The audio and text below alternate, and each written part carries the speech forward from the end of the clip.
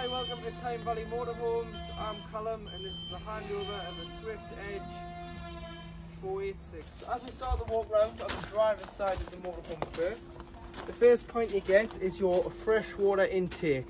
So this is where you will require a hose pipe and some hose pipe fittings as it's mainly just a brass tap on site. When you arrive on your site you'd normally drive in and fill your water up first before being allocated a pitch Swift key, that goes in there and it means you can unlock the lockable cap. Removes flat end of the hose into the vehicle, other end attached to the tap and start filling. You can look on board the control panel on how full the freshwater tank is or you can just simply wait until it overflows. Once it overflows this indicates that the tank is full. Just down here you've got your water drain. So you've got one fresh water drain, which is here, and one wastewater drain, which is here as well. So the waste, you just open the tap and drain off the wastewater and allow it out the van. You don't want to be driving around with the added weight of wastewater because it's the water's dirty there's nothing more you can do with it it's just going to impact the payload and the weight of the vehicle so on the way out of your site drive over the grid and allow the water out. Then when you drive home, just leave the tap open and it will rock any loose water out of the vehicle. In the winter, make sure both taps are left open and drained off so no water can sit in the freshwater tank or the wastewater tank and cause any damage.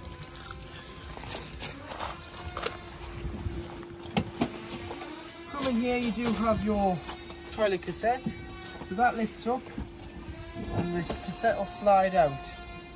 Then be able to carry it with a handle on the front or you can bring the wheels up and wheel it to the waste disposal point, which is normally beside your toilet and shower block on site. And then to empty, remove the grey cap off the spout, pop that to one side for the moment, start to tip, and as you start to tip, press the orange button at the back of the cassette here, allows a bit of air in, stops it glugging, and pour the contents of the cassette out. Once you've done that, there is normally a tap, so if you put a small amount of water in, give it a rinse, tip out again, before going in with a cap full of liquid, which can either be green or blue, depending on the site's regulations, whether they want the green, which is a little bit more environmentally friendly now. A cap full of liquid into here, and it's good to go back into the motorhome. And then it simply just pushes in, and it will click into place. LPG, so liquid petroleum gas. This is your gas locker. I've got my propane gas bottle on as a test bottle to show you equipment working. So it'll take, it runs off propane, not butane. You can get two bottles in there, so you can get a spare bottle as a reserve at the back. Put the strap round the collar of the bottle before you tighten the pigtail on, which is this pipe here, and strap the bottle in so it's nice and safe and secure. Then to connect this pigtail, it's left to tighten, right to loosen, so opposite ways with it being gas, and it is just a hand tightened pigtail, so no need for a spanner. Once you've hand tightened it, you can turn the bottle on, making sure that you turn the bottle off before you start travelling, and then you do have a reset button on the regulator here which is just in the middle. So if that ever pops out just push and hold for 10 seconds and it'll do a reset. This is a crash valve. So if you forgot to turn your gas off and you did drive and anything did happen and you were crashed into or involved in a collision this would stop the sether of gas because it's motion detected. Come around the back of the van You've got your reversing sensors on the bottom there, followed by three bikes on the dual bike rack. So pull that down. These will move depending on how big your bike is. So whether it's a kid's bike or an adult bike, you'll be able to unstrap the strap there, put the wheels into the chocks and strap through the spokes to tie the bikes down. First, second and third bikes and towards the crossbars. Then we do recommend that you put some sort of bike lock around the bikes just to keep them nice and safe and secure when you're travelling and leaving the van unattended. Around this side, you've got your flue for your boiler.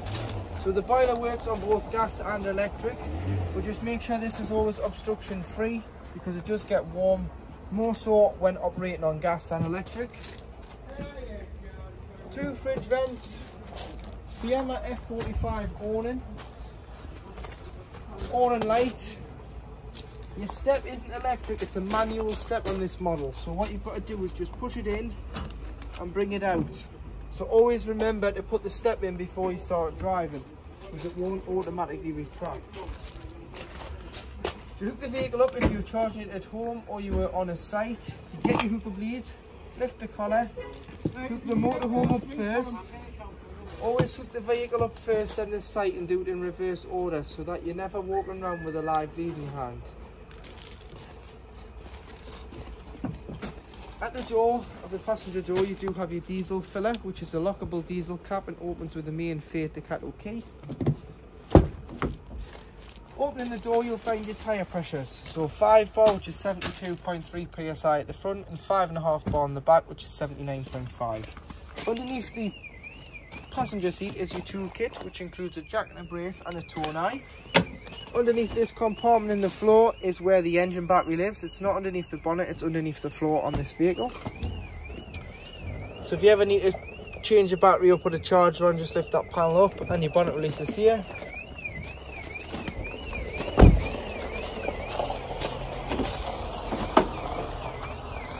underneath here you've got your fluids so all your fluids are to to the left hand side underneath the driver's steering wheel so you've got your screen wash which is the main one you're going to need. Three tabs that lifts off on the scuttle and you can fill your power steering fluid and your coolant. You've got a brake fluid oil filler and oil dipstick for checking your levels. And then if you ever need to jump start the vehicle this is your earthen point so black clip on there. Fuel filter there's a cover that goes over here if you pop your key in and just lift that up. That's your positive for your red clip for giving or receiving a jump start. So above the habitation door, you've got your Swift control panel.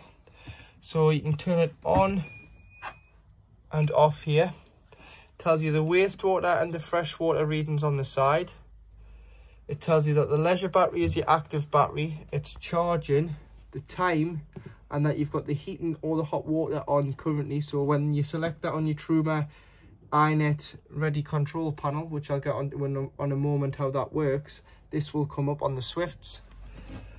Coming down the side, you've got your on light, your dimmer light, so you can just press and hold and dim them down. You've got your master switch for your lights and they all are individually switched around the vehicle and you've got your pump making sure that you've got enough fresh on board you can turn your pump on going up and down you can adjust the dimmer level. The internal temperature which is 25.3 degrees on board. That is the limit so that's currently what's being drawn off 1.4 amps 13.6 volts is in the leisure battery, but that's a false reading because the charger's involved because we're hooked up. Take the hookup out to get a true reading of the leisure battery. And it says that the tank heaters there are off. If you want to turn them on, you would just press here. This middle one there will turn them on and off. The tank heaters you will use in the winter if it's going to freeze overnight or it's going to get really cold. Pop them on before you go to bed and it will stop the water from freezing. Select battery always wants to be the leisure battery so you don't want the you don't want the vehicle battery selected. You want the leisure battery selected because that is the additional battery that the motorhome has as the auxiliary battery, and you don't want to flatten your battery, start the van, and then not be able to drive anywhere because you've selected the van battery instead of the leisure battery. Solar power is currently bringing nothing in. It'll bring nothing in um, when hooked up if a solar panel is fitted because the hookup is the truer, bigger voltage than a solar panel could ever supply. This indicates that your tank heaters are on this little diagram here. It's very self-explanatory. It looks like a little thermostat in a tank.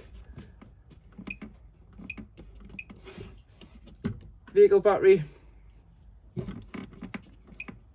And then you're back to the start of the leisure battery charge.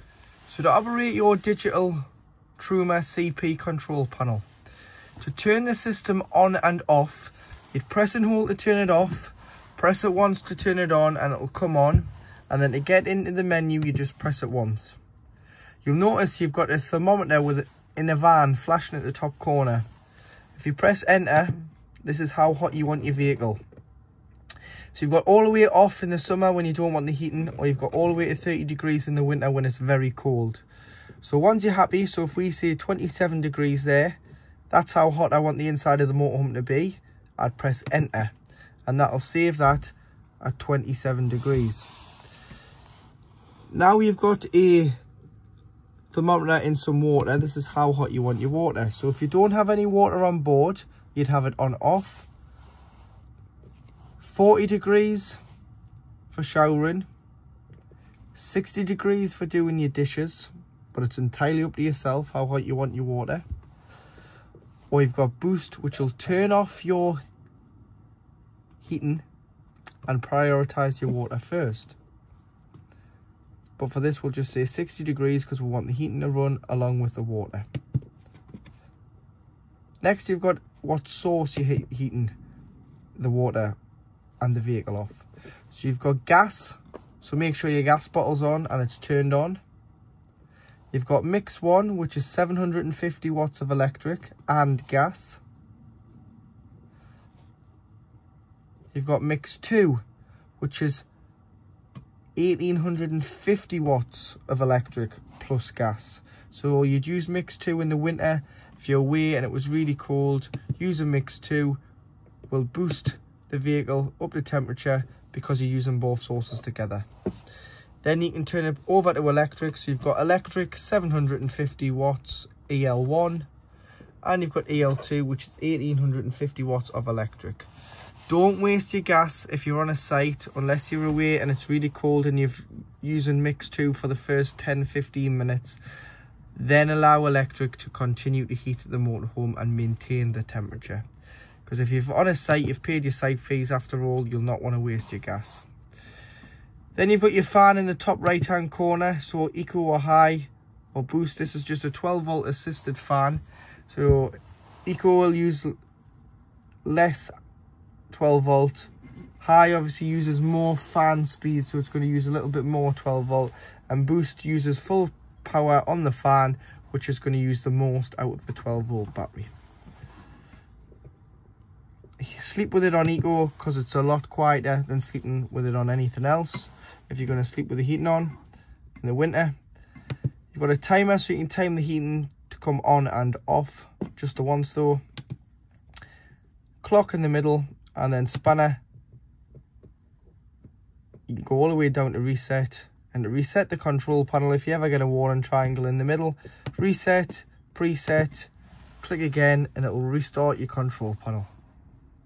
And then to turn off, press and hold and it'll say off and it'll completely turn itself off. In the kitchen you've got three gas burners which I've lit there so they're all working.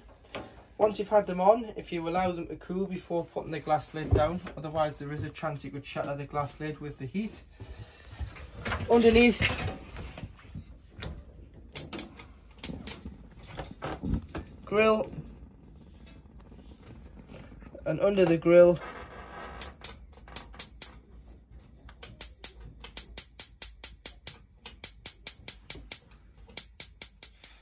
So now I've changed my gas bottle after running out of gas. We now have one lit oven. If you ever need any parts for the oven, burners, anything to do with cooker knobs, anything like that, there's a sticker here um, which has got the model number of the oven on. Just give us that or any other motorhome and caravan dealership and they should get you the right parts for this Thetford oven. Slide drawer. Under here you do have just some service parts for electrics and things for a technician.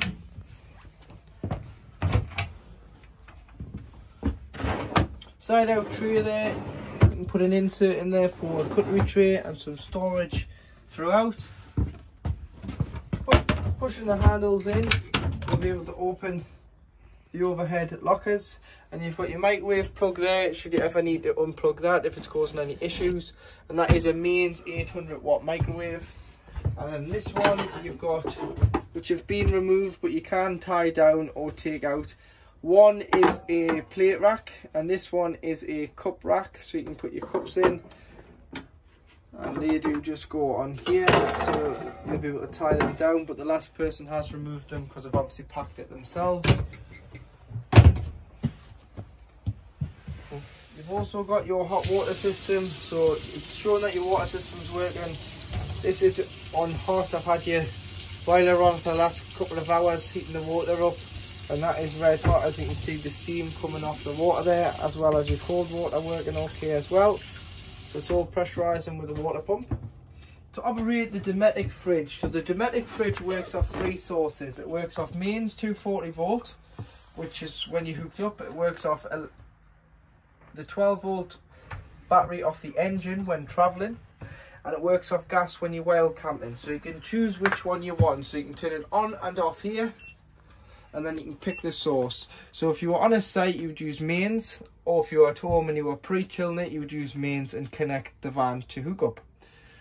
If you were on a, if you were wild camping and you didn't have anything other than 12 volt and gas, you'd have to use your fridge off gas and it'll self-ignite. You'll hear a ticking in the background and then it'll stop and then and it'll engulf the flame on the burner and start working on gas. And then when you're traveling so if you've had it on gas or 240 volt and it's down in temperature you can put on a battery. The battery is a feed for when you're traveling and it only works when the engine's running it's designed like a giant cool box really and it's just going to keep it at the same temperature it was at when departing. So like i say if you're going if you're lucky enough to keep this at home hook it up a couple of days before, put the fridge on, put the shopping in the night before once you've had the fridge on for the day the day before you put the shopping in so it's nice and cold. Allow the shopping to get nice and cold and then you can travel with it on the battery and it's just going to keep it nice and at the same temperature really. So just keep your shopping fresh when you travel when the engine's running. Once the engine's turned off you either need to go on to gas or you need to go on to mains if you've hooked the vehicle up. Mm -hmm. This is your temperature so one being the warmest and five being the coldest. Have it on all five in the summer when we're experiencing really hot temperatures like we have in the last couple of weeks. If not, in the winter you might just want to turn it down to one or two because sometimes it can be too strong but it will need to perform on its fullest in the summer when we're experiencing really hot temperatures so anywhere over 20 degrees or so I'll have it on full five Sticker at the back of the fridge is all your details to do with your fridge if you ever need parts for your fridge. And then when you're not using it, you turn it off. Put your finger on this button here and push it in and pull these out and then rest the door upon it. The door's nice and loose. Air can circulate in and out and it hasn't put the rubber seal against the frame. So clean it out, leave the door open so it doesn't form smells or mould inside the fridge when the vehicle is not in use. So in the back lounge on this model you've got two bench seats which form a double bed. So you just lift and slide both sections out. Meet them in the middle. Pull the base cushions forward and put the backrests into the back. Or you can put the backrests in the middle, it's up to you and there has formed a double bed but what I'd like to do is and what I'd advise is you turn everything upside down because you get the bull nose on the front you get the flat surface on the back to sleep on you can put a fitted sheet on and you can sleep on there and that is your back double bed to drain your boiler down in the winter it's very important that you do so because it holds 10 litres of water in here at any one time which is fed off your pump from your fresh tank at the front of the van so to drain it down, come in, no pump on, yellow toggle, lift it up, it will drain all 10 litres of water directly out underneath the van. So just pool on the floor underneath the van. Leave it up when you're not using it. And then when you come to reuse it, just flick it down. Fill the fresh water, put the pump on, go the hot side of the tap, it will cough and splutter because this is empty and it's just pushing the air out as it's transferring the water into the boiler. Once you get a pressurized flow from here, and this is full, you'll get a pressurized flow out your tap and you're good to go.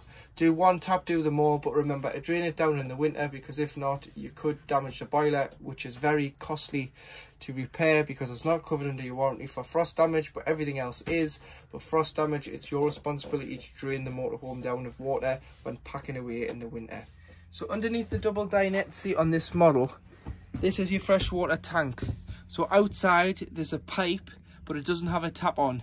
That's because the main plug is in the tank to drain the fresh water tank off. So all you need to do is remove the cap. On there you've got a plug. Pull it out and it'll drain your fresh water off. You do that if you're not using the vehicle or you are winterizing the van and you want to ensure that all the water's out of this tank so it doesn't freeze and cause any damage to the tank or the pipes but if you're taking on a source of contaminated water you may want to drain your freshwater tank out as well. You can pop some cleaner in here from time to time if you want to clean it. If you want to clean the tank what i like to do and what i advise is you put your cleaner in you fill it you leave it in take the vehicle for a drive sloshes around the tank. Also if you leave it in for like 24 hours, not just half an hour, it'll do a better job.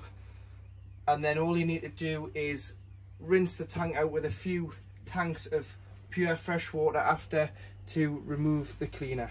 Just located next to the boiler as well, you've got a green, a blue and a red gas tap. So you've got hobbing oven, fridge and your water heater so this is the gas supply from the main bottle to here and then it goes to each individual item so they're on if you have any problems with them you can isolate them by turning them by closing them like this so that's closed there open.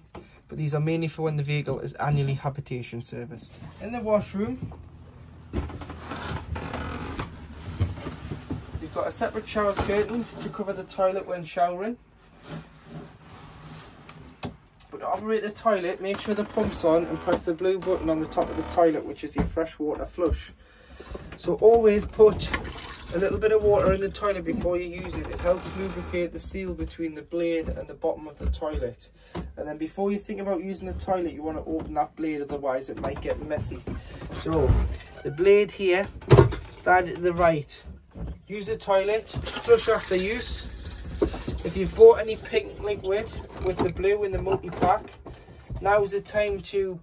It's not fed off a separate header tank for the toilet, so you can't put that anywhere in the vehicle. But what I would do is just put it in a small spray bottle. So much pink, so much water. Spray the bowl, flush, and then once you finish using the toilet, close the blade. If this blade was to be left open and you wanted to get the cassette out the outside of the van, it will not come out with that blade open. It's got to be shut because it leaves the mechanism engaged from the cassette. When the cassette is full, you'll get a couple of green lights on the left hand side next to the diagram of the cassette. You've got space for your toiletries here. Your shower head is also your hand basin head, so you can pull that out and pop that up there when showering. But when winterizing, when you want to leave all your taps open, just unscrew the shower head from the tap, pull this out all the way and lie this in the shower tray. Any water in here will drain off and not freeze because you don't want to leave any water stuck in this pipe. And then when you're ready, when you're ready to use it as a hand basin, just push it in, open the tap, and push this button. You'll get a pressurized flow of water. Toiletry cabinet underneath as well. It is heated in here. So if you've got any coats or anything and you've been caught in the rain, just hang them on hangers and hook them onto here, little top tip. Hook them on there and it'll mean that they'll drip dry if you've caught in the rain because it's the smallest place in the van. But if you want a bit of ventilation, you can push this button here and pull this back and open it with the fly screen on there. Make sure it's fully shut before you travel like all other skylights and windows. So directly behind the passenger seat, if you lift your bench seat up, your side facing bench seat, this is your EC600 power supply unit. So when you hook up, it works the 12, the 240 volt as well as the 12 volt. The 12 volt fuses are here so it would be a good idea to carry some small selection of 12 volt fuses with you. Just in case one fuse does blow, you'll know when it blows because it lights up with a red light that indicates that it can't complete the circuit. And then you would just pick it out. Look in the middle there, you'll see that it is intact. and you'll be able to pop a new fuse in. But like when I've took the fuse out there, you've got a red light on now, which means that the fuse isn't there. That would indicate that it had blown anyway, and then you can be able to push it back in and replenish the fuse. All the fuses are here with the amperage and what fuse does what. So if there's anything that's not working, it's normally a fuse. Start with that first. This side you've got your RCD and your MCB. So if the mains power wasn't working on the vehicle and you've hooked the van up, the best way to check if it's the motorhome or if it's where you're getting the power from is tripping the van. And to trip the van, just press the trip tester like at home. If it trips, you've got power. If it doesn't trip, you haven't got power. These will light up when 230 volt is detected for the charger which charges the leisure battery from mains and the heating and hot water system which works on mains 230 volt as well as gas but this is the mains fused spur to the boiler if you push up it'll turn them off and if you push in it'll turn them on but just leave them on only check if it's not working check here that you haven't knocked them and they've been pushed out or check the supply of mains 230 volt. Got some storage in here as well and then you've got a black button on the top which is a system shutdown button. So if you're parking up for the winter and it's kind of like a battery isolating switch, you can press here and it'll turn everything off so there'll be no 12 volts throughout the vehicle. So when making your front double dinette area up into a double bed, you've got to lift the table off to fill the space in between the double dinette seats. So lift it off press the button on the leg and fold the leg. Lift the cushion off because it's best to have one cushion off so you can locate the table into these runners. So you've got a set of runners on both sides and you need to locate and pop the table in like so. You'll then be able to pop your cushions down and put them back into place And once the cushions are in, you can use the infill cushions to fill this space. So I'm going to put the infill cushions in and then I'll talk you through. So this is how your bed assembles. So the bench seat, you would slide forward like the back. The backrest goes in at the back, the base cushion slides forward. There's an infill cushion, which is the longest one, which doesn't fit here, which goes there.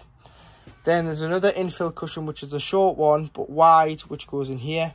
Use a backrest from either side, depending on which side you want to sleep on and there's a little square cushion which goes in the back because it's cut out for the seatbelt frame put that in there and it'll stop the middle from collapsing and that is your double bed. There's another additional infill cushion which is a long thin one which isn't used for the front. It's used for the back bed to tighten the cushions up in the back should you want to in use in the cupboard and your wardrobe should i say you've got your tv digital amplifier at the back. So when the 12 volt system's on you'll get a, a blue light and you can amplify the signal. Should it be too weak or too strong you can try turn it up or turn it down feeling that you can adjust the aerial so loosen the nut off push it up tighten to keep the aerial higher than the van and use the toggle to direct the aerial but what i would do is look where your other motorhomes and caravans are pointing on your site point yours in a similar direction and always pull it in before you start traveling so the TV fitted in this vehicle by the previous owner is a Polaroid mains 230 volt telly. So you've got to be hooked up for it to work.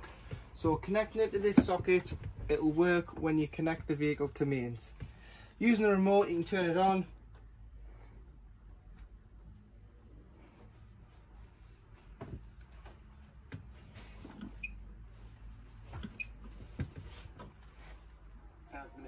There you are, the telly's on. You will have to retune this telly every time you move locations because it will be picking up a different signal. So menu, install and retune, automatic channel, scan, retune. Digital aerial, so that's all you've got, yes, and it'll start and do a search and find as many channels as it can. However, if you are wanting to go wild camping, this telly is only mains, so it's not a 12 volt telly. So either you can do one or two things. You can replace the telly for a 12 volt telly, which will work on hookup and when you're wild camping as well, because you've always got 12 volt off a leisure battery. Or fitted in the cupboard here is a inverter.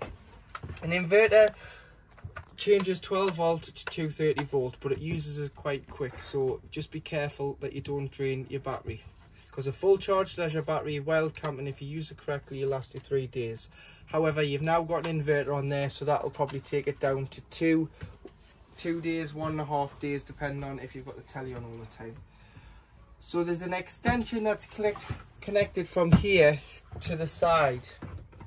You need to take your, your telly plug out of the Swift plugs and put in the extension and turn the inverter on here. And you'll be able to invert 12 volt to 230 volt. But never use the inverter when you're hooked up because you're going to double the charge through the back through the system. So don't do that. Only use it when you're not hooked up because when you're hooked up you've already got 230 volt there we are so the other double bed is in the luton which pulls down. You've got a safety net which clips up if you're putting children up there. Underneath the mattress you've got the ladder which clips into the front here. And you can push it up when you're traveling store extra clothing extra bedding, anything light up there when travel traveling nothing too heavy. You've got your silver screens up there at the moment so there you go on the press studs on the windscreen and on the sides on a night to black the cab out. And then you can just push it up when you travel so you can get in and out of the cab more easily without banging your head